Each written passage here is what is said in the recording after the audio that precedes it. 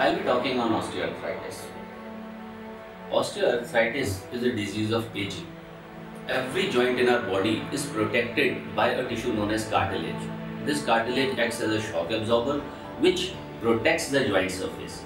Now with increasing age and with increasing damage to the joint surface, the cartilage tends to get thinned out and this thinned out cartilage leads to discomfort in the form of pain or deformity or decreased range of motion for the patient.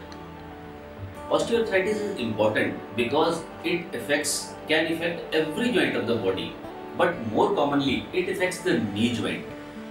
Knee joint is a very useful joint for walking. Now, when the knee joint is affected because of osteoarthritis, it can lead to uh, discomfort for a patient where the patient is not even able to walk a few steps.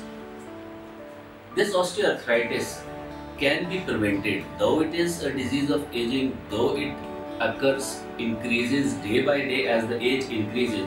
But it can be prevented by simple precautions.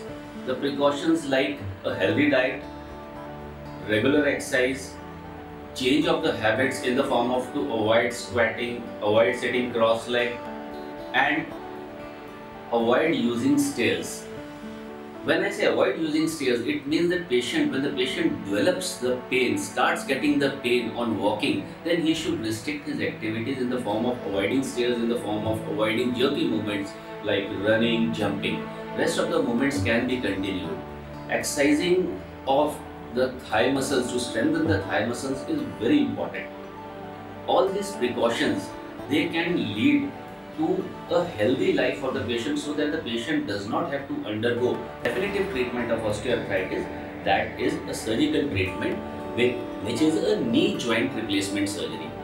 Though there are many other modalities of treatment available for osteoarthritis but the only definitive treatment is knee joint replacement surgery which if done technically perfect in a good institute, it delivers a very good result and can lead to a normal pain-free joint to the patient with good range of uh, movements.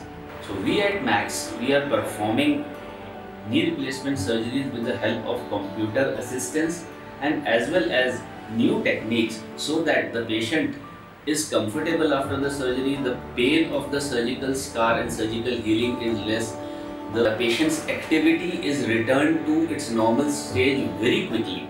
Because at Max we are eager to get you